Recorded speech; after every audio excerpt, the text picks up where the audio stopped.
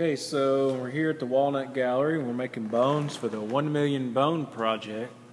This is Isaiah and Ashlyn, and they're currently getting their bones ready for tomorrow's installation.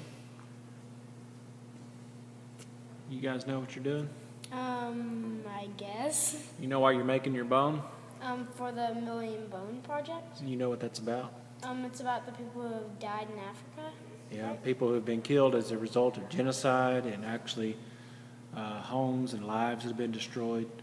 This is a project that is raising money to help rebuild their lives. For every bone made, there'll be a dollar donated up to 500,000 bones uh, by CARE.